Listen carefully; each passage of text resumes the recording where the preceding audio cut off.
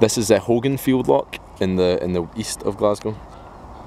And just down there where the cars are, there's way too many birds that think they're getting fed every time anybody walks up to them.